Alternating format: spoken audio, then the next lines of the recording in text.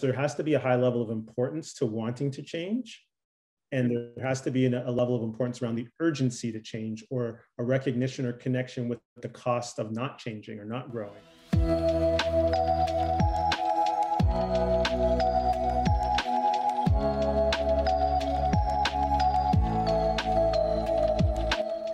everyone, and welcome to the Miranda Ayim podcast. I'm Miranda Ayim, a two time Olympian with Team Canada, and right now I am with Team Canada in Tampa, Florida, training ahead of the Olympics. So, for those who are joining me on YouTube, you can see a little bit of the mix up with the background. Today, I'm joined by Jason Sealy, a performance coaching consultant and director of Sealy Coaching and Performance, who consults with a wide variety of organizations such as the Smith School of Business, Queen's University, the Reach Alliance at University of Toronto, Loblaw, NAV Canada, and many more. He also teaches leadership and organizational behavior at Humber College. In this episode, we discuss leveraging mindfulness to improve performance, the key areas and issues leaders need to lean into, and the power of teams. Jason also discusses an experience he had with failure and what he learned from it. If you're looking to take your leadership or performance to the next level, this conversation is for you. The Miranda Ayim podcast is all about having engaging, long form discussion on topics that matter. So I'd love to hear from you guys from what you think, what you like, what you'd like to hear more of. Feel free to leave a comment or reach out to me on social media, whether it's Twitter, Instagram, or at my email at mirandaayim.com. I'd love to hear from you. Now, let's get into the discussion. All right. Hi, Jason. How are you? Thank you so much for joining me today.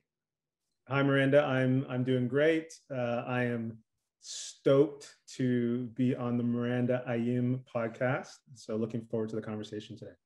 I am so excited to chat with you. Uh, we've been wanting to do this for a little while, and finally our, our schedules aligned. So I was able to to book myself into your calendar, and thank you so much for being gracious enough to to find the time for me. Um, I'm excited for this conversation. I'm sure people will really find some value in it. So for those who don't know you, who don't have the pleasure of knowing you, could you give us a bit of a background on who you are, uh, where you're from, and how you came to be where you are today?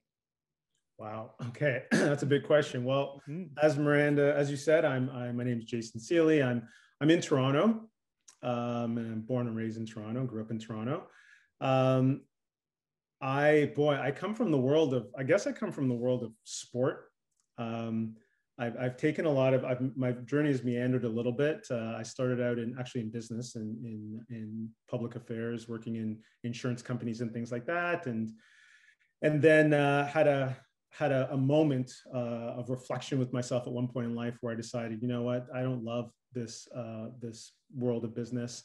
What do I love? And decided to reconnect with my passions, which were one of them was around sport. And at the time, I started also uh, coaching coaching basketball in particular. And uh, yeah, I started, you know, people start to invite you to coach different teams. And a friend of mine said, you know, we're, we're starting this basketball program in, I want to start this basketball program in Toronto, um, coaching these young women. Uh, young women uh, at the heart in the harborfront area of Toronto. We're looking for a basketball program. All the boy there were programs for all the boys, but nothing for the girls. So we started this basketball program called Girl Baller, and it was really like the basketball was like a vehicle to support like the social emotional development the the life skills development if you will mindset and we did a great job um, in that sense i think that's where i first met you know one of your teammates Nayo Raincock-Ekunwe. Mm-hmm. Um, but where i think where we weren't great is we weren't necessarily great at that time at the technical tactical part of the game so took took a year off from that and went to mentor with a couple coaches uh, at the university level and that's when I also got uh, connected with Canada Basketball for the first time and connected with, you know, uh, Mike MacKay and one of your former hosts on your show, uh, Sefu Bernard. Mm-hmm. And um, and it was interesting in you know those connections with the university coaches and then people like Mike and, and Seth, they just really had this language around um, supporting uh, connection and collaboration, but also clarity on you know leadership development and what leaders did and, and then how we could how we could bring the best out of people and that really super resonated with me so uh, i did a master's in leadership studies um, and uh, started applying my my learnings on a team I was coaching. That team I, I met. That's where I met Sammy Hill, another one of your your uh, teammates, and um, um, you know just supported a group of young people to be their personal best, um, learn to be leaders in in in their environments, uh, but also produce success. And then decided, you know what, I think this is what I want to do uh, for a living and got into the executive coaching world, got into the teaching of leadership and organizational behavior, got into the team coaching world. And that's where I am now. I'm, a, I'm the director for an organization called Sealy Coaching and Performance, uh, where we support leaders and teams to accelerate growth, become the best at getting better, um, you know, to produce results, but also to support, you know, their, their growth. So that's where we're at now.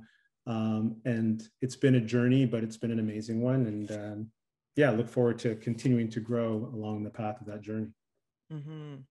I love your story because I'm sure in the moment it it felt a bit like a random journey through every new event that came into your your life with the coaching and then going into kind of delving really into that from that business field and then we're we're coming into a different type of coaching um, but from a bit of a uh, a step back it's it all makes sense and it all weaves together and i think some of your strengths now are because you have such a fo- solid um, foundation in that sports world. I know you use a lot of analogies between the sports world and you bring that into the business world and it makes so much sense because there's so much overlap between the the sports and business world.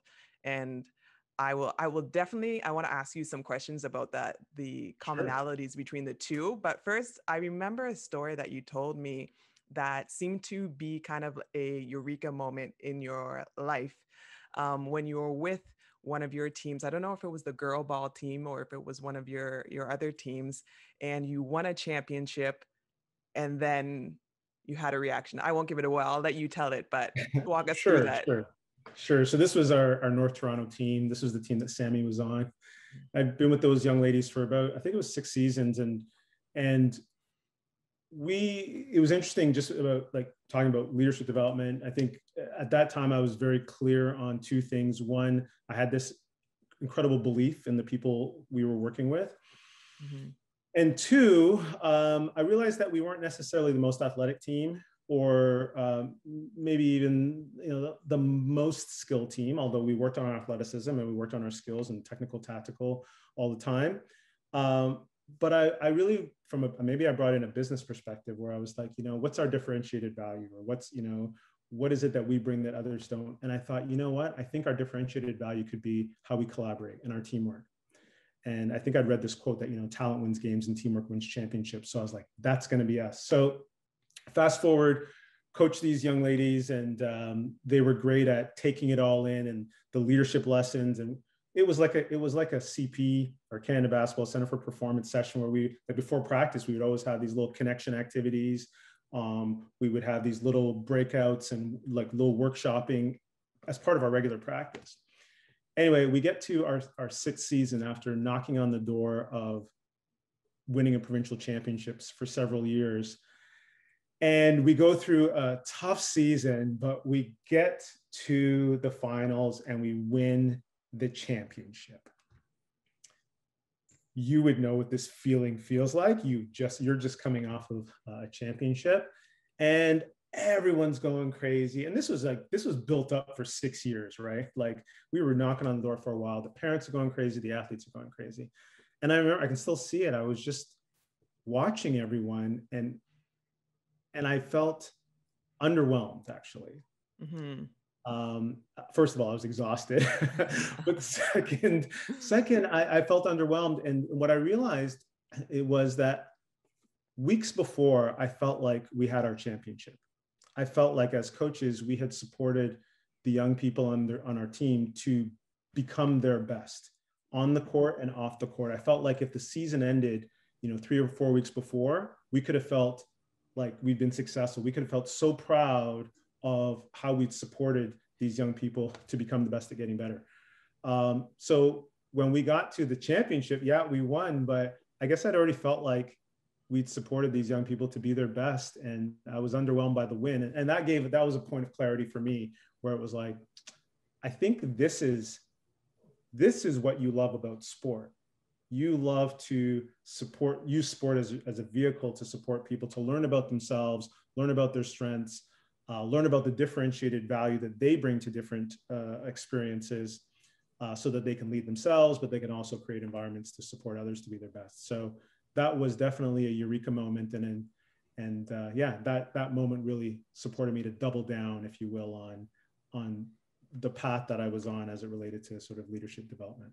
Mm-hmm those aha moments are so illuminating in our life, I find. And the fact that you were able to even identify that, okay, yes, you had the the feeling of underwhelm, but to identify that that feeling of success happened weeks in advance or months in advance um, I think we we sometimes miss that when we're not really clear on our values and we're not really clear on what success really actually means to us. Mm-hmm. I I had a similar feeling, not a similar feeling, but a, an adjacent feeling after this recent um, uh, championship in France really? when we just we we won the league and it was just an incredible feeling, just and incredible as, as well because it was um, unexpected to a certain extent. Uh, we were ranked third in the league, um, very close to being second and first. The the margin was not very far, so it's not like we were a big underdog. But still, our goal at the beginning of the season, um, collectively, um, wasn't to win the championship. I think as the season unveiled itself, we did want to be in the top four. We thought that was a realistic go- goal for us. Me personally, my goal coming into the season, and remember at that time, COVID was still right at its height. Um, my goal coming into the season was, you know what, enjoy, um, be present in every moment, play to your best ability, and encourage those around you. So everything else from that stance um, was bonus. And it's not a very common sport, high achieving type of goal that we, we set for ourselves. But in that situation, and also I, it was my final year playing. So I had different uh, objectives as well. Um, I knew this was going to be my last year on the, the court. So I had other things that I wanted to achieve as well. Um, so having that sense of you know dealing with uncertainty um, giving the best that we had to each other and working through a lot of trials and ups and downs through the season um, that really was our win similar to you guys. Um, it happened way before the championships. It happened actually at a, in a more visible sense in the semis in the uh, final four because we beat a big team that no one expected us to to beat. Um, and that was an incredible moment. And we're like, yes, we're going to the finals. And if we can win, hurrah, you know? and then we went into the finals and we put together two back to back great team defensive wins. Um, and those who know sport know that it's difficult to put two great games together and two big team wins together, not just like one person having a breakout game and then, you know, a couple other th- people. Both games, everybody on the scoreboard won, which is, uh, sorry, scored, which is an incredible spread. Um, so it's those small details that really win championships. Like you said, that teamwork that wins championships is not individual play, it's different values and integrity and hard work that you kind of put into it. I got carried away with that and reliving those those moments, but uh, I mean, I guess that's what sports does to you. Yeah, I mean, I love I love hearing what you're saying, and there's two things that I'm pulling out of that that I, I really really spend a lot of time on now, working with uh, executive clients. One is um, awareness, and and I know in your in your podcast and other episodes, I've heard you speak of mindfulness. Mm-hmm. Uh, in the corporate world, sometimes we use the language mindfulness. You know, I remember your your your meeting with uh, with Stu. Stu had some different titles for it as well. Uh, mm-hmm. Uh, sometimes it's uh, it's just awareness. Sometimes it's noticing, um, and it really just depends on the client's connection with that. But I think just practicing the skill of noticing, right? Noticing um, what you're saying to yourself, noticing what you're feeling emotionally, noticing what you're feeling physiologically, can help you to connect with ooh, you know what? I really enjoyed that and not enjoyed it from a, a hedonic pleasure kind of perspective, but ooh, that that hit me in the meaning, like in the meaning mm-hmm. spot, you know what I mean? Or in the purpose like kind of thing. Yeah. Um, so that's that was that was one thing. I think that that awareness is super important. And then the, the other thing that you mentioned, like that you'd come into the season, you and your team had come into the season clear on look, you had you would come in clear on this is how I want to show up right? This is what's important to me this season. And then clearly your team had created some some some clarity on that as well.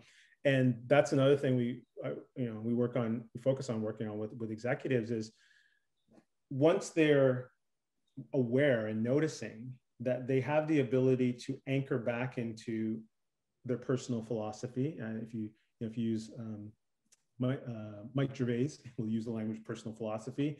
Uh, Ray Dalio says principles um, you know i'll use i'll use i'll use the term mindset whatever it is for you um, that you have some roots and an anchor to tap back into that so you can navigate some of the storm right you can navigate the tough parts you can navigate when you're in that game when you're like oh my gosh we're playing against this tough team we're down 10 like how do you want to show up how do you want to lose the game like how do you want to go up by losing the game do you want to you know do you want to react to what's going on right now? Or is there something that you can reconnect to that resets you? So you can be like, okay, we're good. This is how I decided that I want to come into this thing. This is how I decide I want to go out.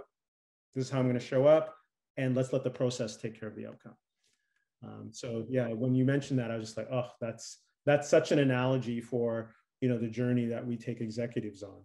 Mm-hmm. 100%.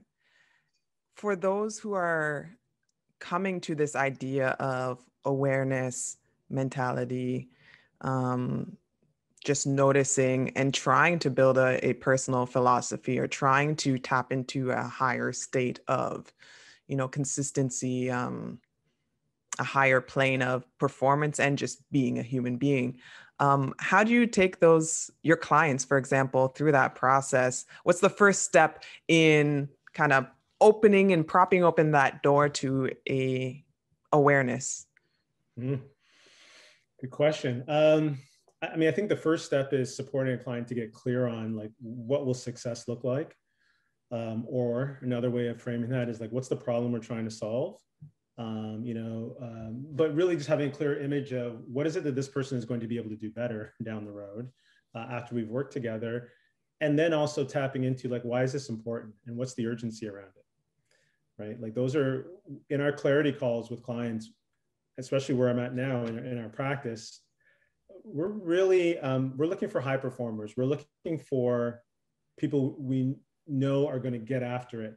Um, and as such, there has to be a high level of importance to wanting to change. And there has to be a level of importance around the urgency to change or a recognition or connection with the cost of not changing or not growing. Um, and then um, from there, it's it's usually a practice in starting to develop their personal philosophy, as we call it.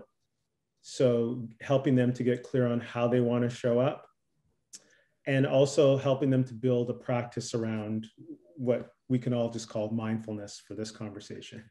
Um, and we I'll, we'll, we'll always work with clients at where they're at with their mindfulness. So some, you know, some people go walk their dogs in the morning and that's their quiet time to um, and that's when they're aware really aware of you know just what's going on outside of them they're hearing the birds chirping um, they smell the morning air. They're feeling the the you know the the breeze against their face.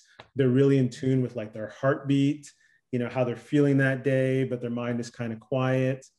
Um, like from that to um, you know people who have an active practice in in meditation let's say. Um, but we leverage whatever they're using, and that's where a bit of the positive psychology comes in, where it's like, okay, what works for you? So we're not we're not saying you have to sit in lotus position for you know 30 minutes a day and and, and all that, um, but we want something want to connect into something that already works for you as far as your awareness. And then i mean the long way of it the long story of it is that it's about supporting leaders to it becomes about supporting leaders to become aware in the moments of what of the data that they're receiving from you know their body. And and oftentimes it's you know there's a way that leaders want to show up. First sorry actually oftentimes leaders are not clear on how they want to show up so that's where we start. And then we create that foundation and then it becomes okay how do you help them to show up that way in the moment? And you know pulling some things from your conversation with stu stu mentioned that i'm speaking about stu like we're buddies. Stu singer i should say uh, said that you know we're not always in the zone right? Like we kind of float in and out of the zone. So uh, supporting leaders to understand like what are the spaces where you're in the zone where you know you you just perform so well in those spaces? And what are the spaces where you get tripped up? And there are usually some triggers. There's usually some things we're noticing in that in that space that oh you know i'm in this meeting in with these senior directors and i haven't said anything. You know i'm starting to feel a bit of an imposter syndrome being in this environment. Or we notice after the fact you know a, a, a deliverable with our with our team that we lead um, wasn't successful after the fact. And way after the fact you know we were kind of reflect on it. We're like oh man you know i should have done this at that time. So we're really trying to bring that awareness to the moment so they can start to notice in the moment.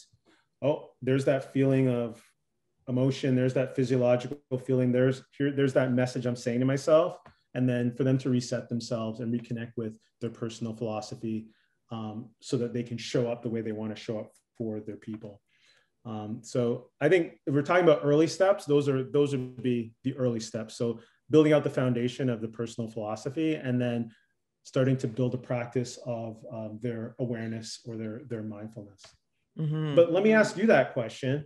Like, I mean, I know you're an experienced professional, um, but if you were working with an executive or if you were coaching someone else, a, a young athlete, mm-hmm. and you wanted um, them to just get on the mental path, you know, the mental path, the mental journey, and the first few steps of the mental path, like, well, what would, how would you support them? I think you 100% nailed it on the head with this awareness piece. Um, I think I would would go that route with athletes even before I, I talked about their their personal philosophy and their idea of success success which i think is is tantamount. Um, but especially us as athletes we live inside of our bodies. This is our instrument our tool. Um, so normally we should be have some sort of in tune intuitive nature with our body.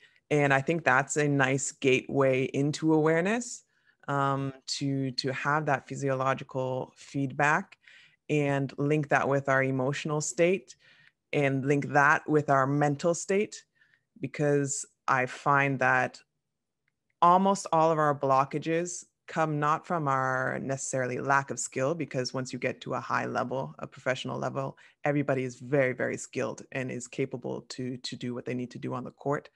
Um, it's the mental piece that takes us from good to great um, or takes us from having difficulty coping with a loss or an injury or ex- whatever it is to to dealing with it on on good terms and being able to to move through that. So the awareness piece about our reactions mainly in our, our our thought processes while we're on the court um, is a big big piece that i think the the best um, athletes um, at, at any level, uh, if you're able to tap into that, like, what am I thinking in this moment? Um, am I tight? Why am I tight? I'm tight because I think I'm going to miss this shot. I have this doubt coursing through my veins. Um, and it's becomes a self-fulfilling process um, prophecy that okay I, i'm doubting myself i'm becoming tight i'm going to miss this shot and in fact i do miss this shot because i am doubting myself it's mm-hmm, just a mm-hmm, vicious mm-hmm. cycle and the sooner that we're able to recognize that that's going on because we often don't even recognize that it's happening um, to to make a bit of a pause and this is why mindfulness um, enables us to to do a lot and this is why taking those moments building those into your day maybe in the morning um, realizing that you do have space in your day to actually breathe. Even in between split second decisions on a basketball court you do have time to check in and then take your shot even though it feels like there's nothing. So the more reps that you get at having this mindful awareness of making space just so that you can look into what's going on in your mind, in your body. And then the next step is following that, maybe injecting a more positive thought pattern, reframing, um, questioning those beliefs, and then see what happens. We might have mm-hmm. to adjust the next time. We might need to build on it. You're not going to, it's not going to go in every time just because you've um, addressed this problem with a possible solution doesn't mean you're going to score every time and that's a mm-hmm. frustrating process for athletes but this is part of life there's so many things going on at one time but yeah tapping into that awareness first at a physiological level then at an emotional level and then at a mental level i think is an incredible way for athletes and um, people individuals who are, who are trying to to tap into this state for sure mm. Good stuff. Good stuff. Mm-hmm. So you have, and you still kind of uh, have this parallel between sport and business in your life because I know that you are still in the the sport world. You still coach athletically. Well, uh, mm-hmm. maybe a little bit less these days with with COVID. yeah, yeah, sure.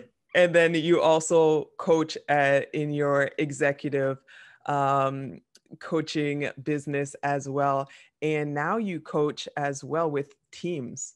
Mm-hmm. What is this difference between this individual um, coaching one on one and then transferring that into the team environment? Because I know now you have your own team that you manage with the uh, with the Jason Sealy, um, uh, your your own company, mm-hmm. and um, how you i know you've written somewhere that you've been able to practice what you preach and put all those best practices into to what you do and i've witnessed it and you you nail it every time and um, so yeah tell us a little bit about this this team dynamics team coaching world.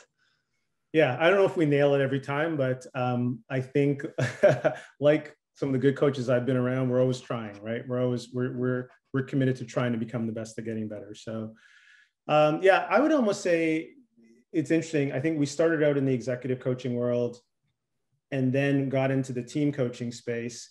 And now I would say like this team coaching space is actually probably the center of our universe. And the executives that we work with are people who are um, who who have gone. A lot of them have gone from being MVP to coach, if you will. Like they're the most valuable performer gotcha. in their organization. They've been promoted, promoted, promoted, and now they've got a team mm-hmm. um, of people that they lead. And now it's like, okay, dude, you're, you're not allowed to step onto the court to shoot shots anymore. Like think about Lisa running onto the court and snatching the ball from you or from from Kia and and saying, no, I'm going to score it. No, no, no, you don't get to do that anymore. Now you're leading a team of people on the court, so you have to create that environment that fosters high performance. So uh, we're working with a lot of those leaders, and some of them not all, aren't all new leaders. Some of them have been in leadership positions for a long time, but you know, sometimes they just get an aha moment where they're like, oh, you know what, we're not, we have all these resources, but we're not really being effective. We're not being efficient. Um, so we're working with uh, those leaders. We're working with the performers on teams because you know teams are made up of performers and individuals. So just like your your your national team, there's a team of performers. So we're working with performers uh, to support them to become the best at getting better and accelerate their growth, so they can be you know more engaged performers or more committed performers.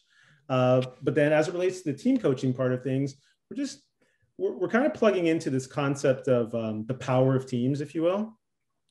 A lot of literature for a long time on the power of teams and how, you know, um, there's this benefit of working on a team that is better than the sum of the parts of the individuals in a group, if you will.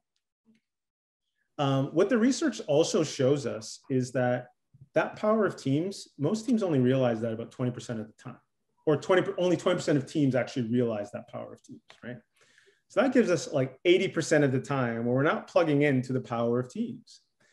so for a lot of different reasons, which I'm not going to really get into, but um, so that's the problem that we're trying to solve with the team coaching side of things, which is, you know, how do we get to a high performing place where, where teams can be benefiting from the power of teams?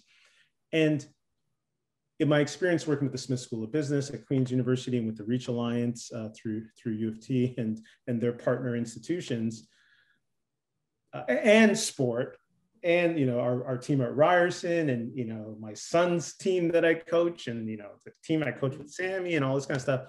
Um, team being on a team can really suck. Like you know it's funny we'll do a uh, with the with the sort of in the academic space where we're supporting sort of um, experiential learning and teaming and capstone projects, one of the questions I'll ask people after sort of an opening session is just, you know, give me your thoughts on your team.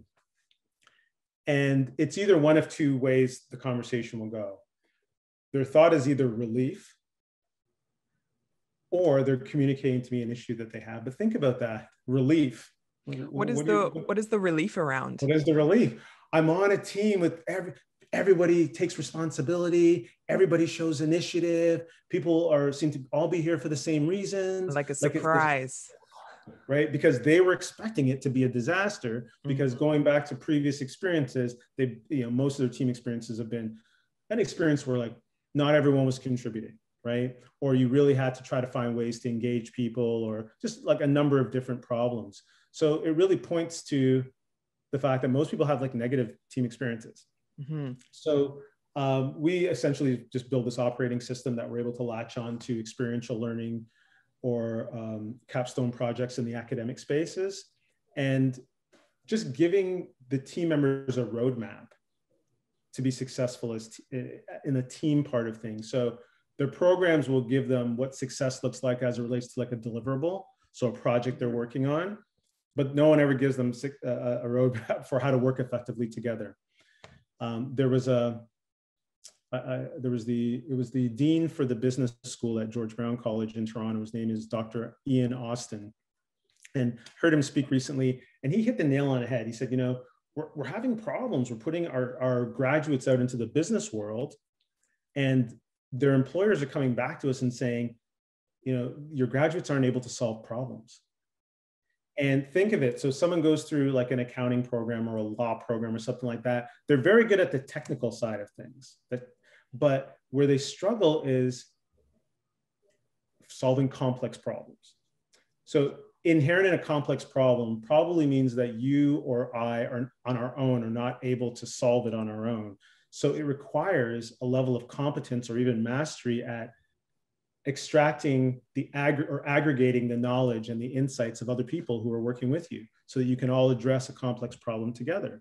And without without those skills you know these educational institutions are starting to understand without those skills we're putting people out into the workplace without the skills to be successful in today's work environment where there is so much collaboration and where you are being asked to solve complex problems so that's where we come in. We come in to solve to solve and address that problem by giving these teams an operating system. So I would say now that's the that's the core of the business, and then um, you know, but with that, we're also working with leaders who want to create that environment for their team, and we're working with you know their people who are in that environment who just want to be their best because they want to be you know great team members. So that's uh, I think those are sort of like the three levels of the business right now. I so relate to their their feeling of potential relief or surprise when you enter a team that is functioning and healthy and successful um, whatever that looks like for the team because it's so true like teams are necessary yet at the same time so many so many of us kind of hate being in teams or we dread working together or we don't know how to work together. It's kind of like makes me think of you know you go to school for so many years and you get out and you have to pay your taxes and you're like nobody told me how to do this. This is an essential life skill and nobody bothered to teach this to me. Um, yeah. and i feel like in the same way um, working within a team is something that we just kind of have to fumble along and, and learn through trial and error.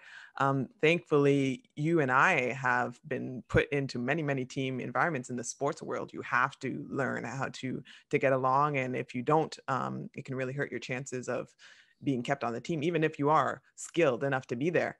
Um, but yeah, it's it's an in- incredible life skill to have, especially at the top, top levels when you can't do it all. You have to rely on others on big projects, whatever it is.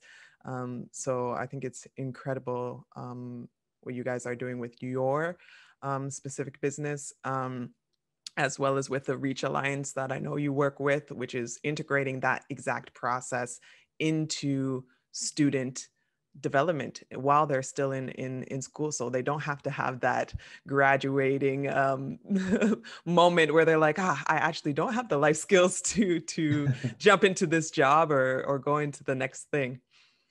Well well and you you hit on something that i think has become the the the modus operandi for how we develop teams. It's you know put a whole bunch of people together give them something give them a deliverable and let them have at it and hope somehow that they figure out how to become better at collaborating. And what the research is showing is, you know, they're not figuring that out. They're figuring out, uh, I don't want to work on teams, you know, uh, again, mm-hmm. or they're figuring out, well, this is like a team I had before, so I'm just going to do all the work. Or this is like a team I had before, and I'm not going to do any of the work. Mm-hmm.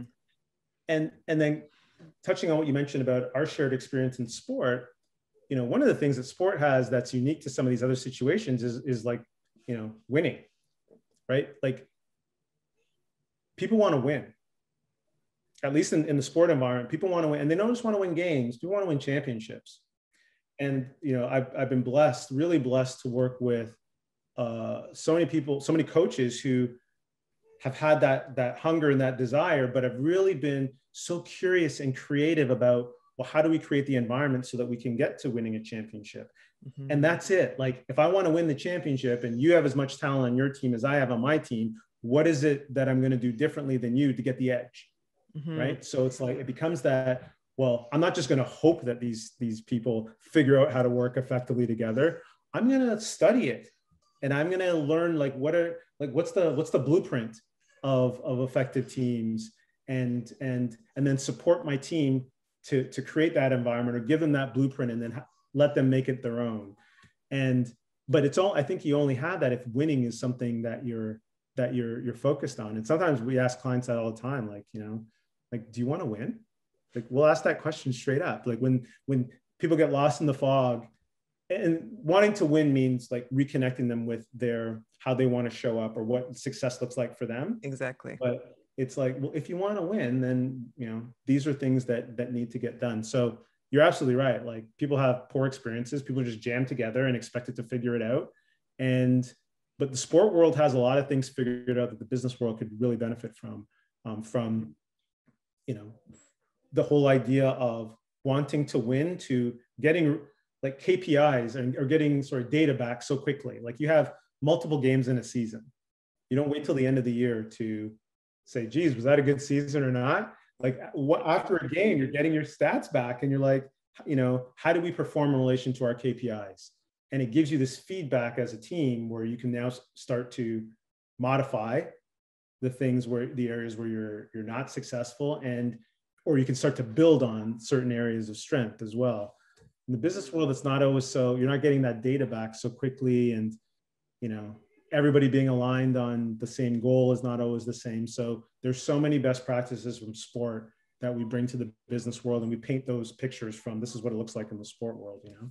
Yeah, it's so true. In the sport world, the the north star or the the ideal ending point of the season is very clear to to win the championship ideally and and that is not a sprint it's a marathon and that's why it's so important to build that foundation and, and know those those value points of of feedback into what you are actually building towards um, because the short-term solution is not going to be the long-term solution and you only know that if you know the final goal if you know what and who you want to to be and be building towards.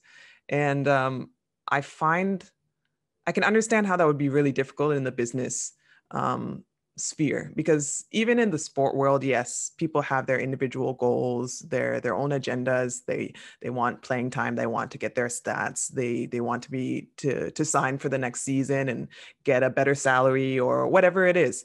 Um but people still do have that goal team goal that they're they're building towards.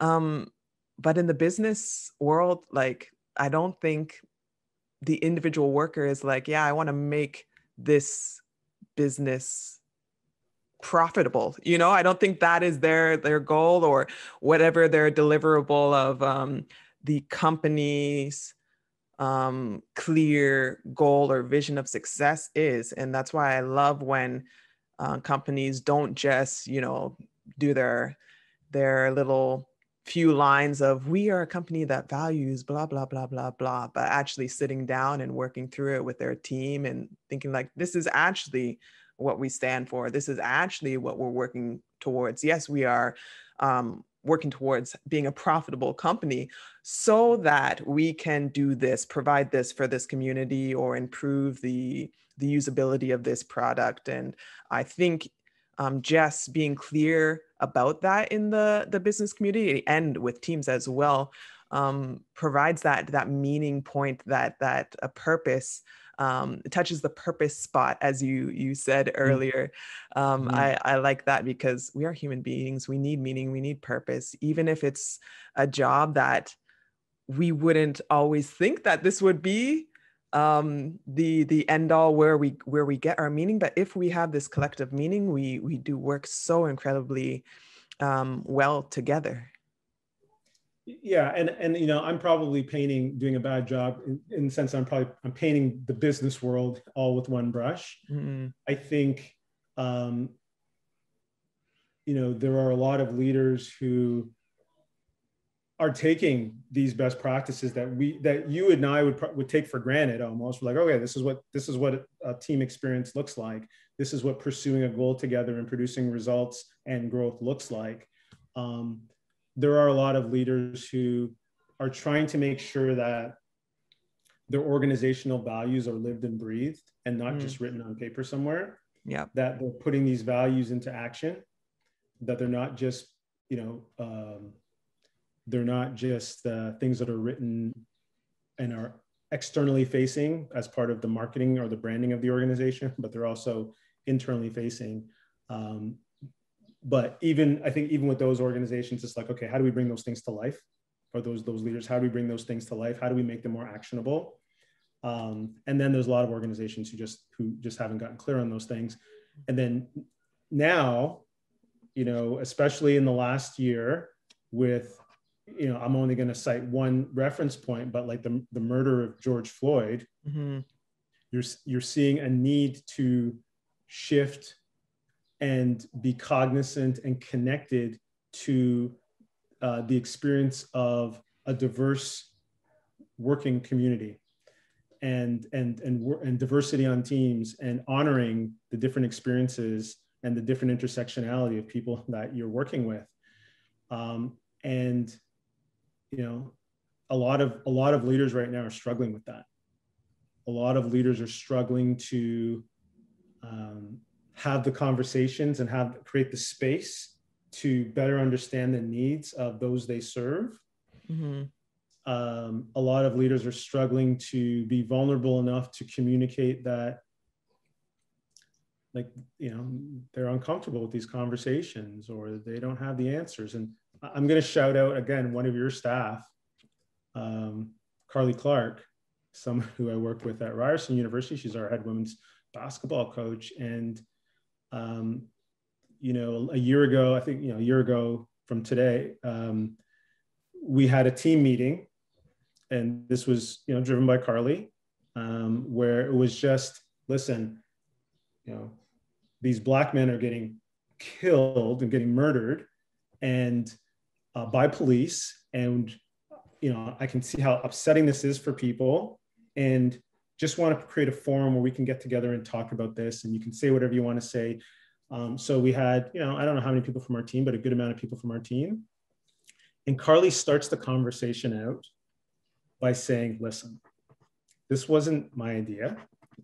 Uh, jess our assistant coach um, uh, thought said you know we need to do this and carly says to the team listen i got to be honest with you i don't have all the words I don't understand all of what's going on. And she, my, she says, my, you know, and it makes me feel uncomfortable sometimes to have these discussions. And my reflex is that when I'm uncomfortable about things, I, I sort of shy away from them. Um, so she was like, I want us to have this forum, one, so I can learn, uh, but two, to challenge my comfort zone, to stretch my comfort zone, because I know how important this is for me to be the best leader that, that I am. Like it was, such a mo i'm getting emotional as i'm thinking about it it was such a moment of of communicating vulnerability and like i don't have all i don't i don't have all the answers but i want to get it right mm-hmm. and um and, and you know part of this is i think this is what we need to see in leadership now where it's like you know i don't need to be right i want to get it right and uh, and you know one of the things that we'll do a lot with our clients is we bring these these real life stories from the world of sport or other contexts that we're working in to them and say look this is what it looks like in action right? It looks like a leader being vulnerable enough to say that i don't have all the answers but i know i'm, I'm owning my responsibility as a leader. I'm trying to create a, an environment that fosters high performance with you all. I want to show you that i care about you as people not a, not in your ability not just about your ability to perform and produce results. Um, and I'm willing to, to be vulnerable to do that. So I think in this day and age, that's a place where we could see some, it'd be beneficial to see some growth um, yeah. in, in, in, in leadership there's so many lessons from there and carly is an incredible human being and i'm i'm not surprised at all that that was her approach to that that meeting and again we come back to this piece of awareness like knowing hey this is my default position when i'm uncomfortable and you know i'm choosing i'm choosing in this moment to instead lean in towards that uh, uncertainty and un- uncomfortability. And um, and being yeah the leader that the team needs to be showing vulnerability. And and i think more and more these days i'm encouraged because i'm seeing more and more stories of leaders um, in whatever walk of life um, in whatever level they are at, um, choosing to to show a more human side. Because we go to work and we spend so many hours of our day mm-hmm. um, in offices or in our workplace, and I think before we kind of separated our humanity a bit from the workplace and like you said weren't really recognizing each other as human beings with some you know we all have our strengths and weaknesses in different ways and um yeah i think the the more that we can f- um, create connections um and and create a, a space that is um, safe for people to to come to and communicate and work towards a, a common goal. I think we can we can only become stronger and, and better as we continue down that road. Sure, and you you said you know space these spaces and for them to be safe enough for these types of conversations to happen, but even you know just safe enough for people to feel like they can bring their authentic selves to uh, the work that they're doing um, because that's when we start to notice the strengths. I think there's there's people who you know there's conforming, right? I come to work, I do as I'm told, right? Um, but when we get the best out of people is when they're really committed, and and usually when they're really committed, there's there's a part of them that they're able to show and, and bring to their work. So um, I think when we're able to create more of those types of spaces, um, and and leaders are curious about you, like all of you, and what you bring to uh, the organization, um, I think it brings a different type of motivation out of their people to, you know, bring their best to the the endeavor.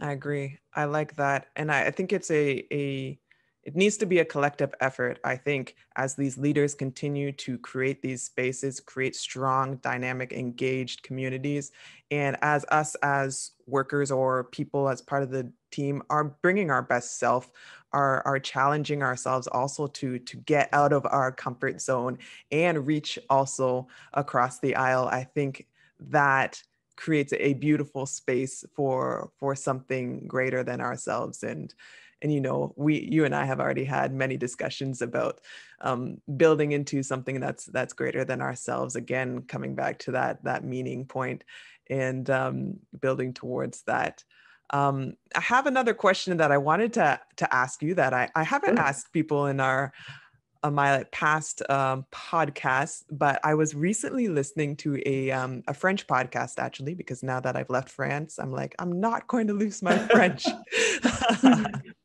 and it's called La Leçon, un podcast sur l'art de d'échouer. Do you speak French? I speak some French. So La Leçon, the lesson. Yeah. And what was the second part of it? Of the title? podcast sur l'art d'échouer. So the art of failing. You nailed it. Look at you. Okay, we're gonna have to start speaking in French here. well, you can speak French. I'll listen and I'll and you'll listen and respond in English. That. Awesome. I love yeah, it. Yeah, um, yeah. So uh, basically, it is exactly what it sounds like. Um, this woman, I, I I forget her name right now, but interviews a whole swath of different people from all walks of life, uh, different jobs, um, and basically asks them about the moment in their life where they had some sort of failure or a big lesson or you know just one of those kind of turning points that you look back on your life and you're like wow i'm that probably hurt in the moment mm-hmm. but i'm really glad that i i had that experience and this is what i've learned or this is where it's brought me um to so I want to ask you that question. Oh. Is there a specific, it doesn't have to be some huge thing. Listen, we're, we're not going to overthink it, but if there's something that comes to mind, even recently, a, an error, a mistake, a failure, or some sort of difficulty that you had that, that you've mm. learned from. Like a billion of them, first of mm-hmm. all. Yeah. Um, I, I think that I, I, I plug into the, the title of that, of the, the podcast, right? Um, very intentional about failing on the road to, to, to try to figure things out. Um, trying to figure which one I'm going to give you. Uh, so I, I, think I want to give a really good failure. Uh, so I was coaching a team, a business school team, and um, long story short, their behavior in this moment we had we had a I think it was a peer review, a feedback giving exercise to do. We were this is back in the day when we were all in person, and uh, they came really late for the uh, for the session. And when they came to the session, they were, in my opinion, a little bit um, disrespectful and whatever. I'm not going to get too much into that, but you know, I asked myself. I said in that moment, I said, "Geez, you know, if they were if they were a sport team of mine, what would I do in this situation?" And because their behavior was contrary to any of our behavioral norms and it was just really weird anyway I chose to react, chose to react because I was really frustrated in the moment. Not that that's an excuse. And I essentially berated these business professionals and just like sort of like blasted them. Sport style. Sport style. Yeah. react, reactive sport style. So I, I think there's times as, as, as leaders where we, where we, um, we can use quote unquote intimidation as a as a tool, uh, but it has to be used very intentionally, very carefully. This was not uh, this was not intentional. This was not careful. This is reaction and frustration and anger. Uh, anyway, long story short, um, I, I, lost, I broke the relationship. I, I, ruined the relationship between myself and these these these people I was coaching, and we went through the motions after that point of you know contact points I was supposed to have with this team and how I was supposed to influence them, but I lost them all at that point. And it speaks to the importance of the relationship. Mm. Um, or, or sorry, it reiterated to me the importance of the relationship at that time that, you know, once the relationship is broken or there's something blocking the relationship, doesn't matter how good the information is that's going from point A to point B, from coach to person being coach. It's not going to be received or it's not going to be received uh, with the same uh, intensity. And essentially, you know, these people didn't allow me to coach them moving forward. They didn't allow me to influence them moving forward. So that was a, for me, for me, that was a big failure. One, because I thought I'd failed as their coach, because I was not, I was not able to perform the, the, the job and, and execute the responsibility and, and influence this team the way I was supposed to influence them to give them the success that we had promised. But two, and maybe this is where I really hold myself very accountable, I'd let myself down, right? i I had, instead of, I, I, I wasn't aware. Like my awareness there wasn't, um, you are you know what are you saying to yourself? What are you feeling physiologically? What are you feeling emotionally? And then how do you want to show up? It was noticing those things and then like right? So um I, I i let the constituents down but also i let myself down because that's not how i want to show up. So i mean that was a few years ago but uh, i think i, I wanted i'm th- thankful for thanks for asking the question by the way. I really appreciate the question because um, one, it's true. And two, I, I love to communicate the gifts of imperfection and, and, you know, pulling, sorry, stealing that from Brene Brown. And, um, and with people that we work with, it's like, look, you know, um, it, I like to pull this, this quote from, from Maya Angelou, Dr. Maya Angelou. It's, um, you know, be your best until you, do your best. Oh, do your best. And, oh yeah, do your best until you know better. And then once you know better, do better. Yes. Yeah. I love that quote. And, and this just this iterative process to our journey and becoming the best at getting better. So, you know, I reflected on that. And now, you know, the relationship, the coaching relationship is just so important to me because of that experience, also because of some other mentoring that I received. You know, um, I think uh, Peter Jensen has worked with your, your team at times and him and his, his organization, uh, Third Factor, they're, they're big on like the relationship and they call it a pipeline a pipeline if you will. And without the pipeline you know it doesn't matter how good the coaching is it's just not going to get to where it needs to get to. So yeah I, I, think one i like to communicate that story because you know it's a story of that response to failure but two just to communicate that like Stu Singer said like we go in and out of the zone right? Like sometimes we're in flow and we're getting it right and then sometimes oh we, we disconnect from it and hopefully we can disconnect from it and reconnect from it without too much collateral damage or too many opportunities missed. But you know i think even i think the best of leader needs to needs to recognize when they've made mistakes. Not that i'm not that i'm the best of leader but um, i think those who are able to notice that's a mistake that's a failure and and then respond to it um, they just accelerate their growth. I'm reading ray dalio's principles now and he just speaks about like just really intentionally about setting audacious goals failing, developing his principles, and then setting a new goal and off you go, right? Like that's that's his that's his mental model. That was his mental model with with Bridgewater. And um, I think if you have that type of a model, you're able to really extract the lessons learned from those failures and then um, help them on your road to success yeah yeah that is it's so powerful when we when we talk about that. Again coming back to this piece of vulnerability and and owning your your moments of weakness or your your failure. And i like when you use the word iteration because i love this word. Um the the more that we we do it the more we practice it the more reps that we get the more comfortable we'll get with failure. Because the first time you fail you're like oh it's the end of the world. What am i going to do? It takes a hit on your ego your self-esteem and and sometimes you shrink back into that that feeling of you know okay i'm going to compress compress myself i'm not going to try that again. But the more that you kind of come out of yourself and and lean to into that that state um, you're like oh okay actually you know sometimes failing sucks but i learned and each time it becomes a little bit less. I think obviously an athlete mind i think of lifting weights and the first time you go after a long time of not lifting weights, you come out of the weight room and you're absolutely dead. You can't move your muscles for days afterwards.